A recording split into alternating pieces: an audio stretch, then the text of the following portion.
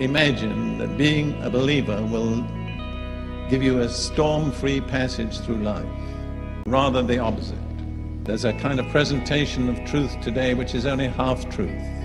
Which is if you come to the Lord and get saved, everything will go well. You'll never have any problems. Most of us know by experience, if not by scripture, that that isn't true. A friend of mine who's a preacher was once asked, What is the evidence of the baptism of the Holy Spirit? He replied, Trouble.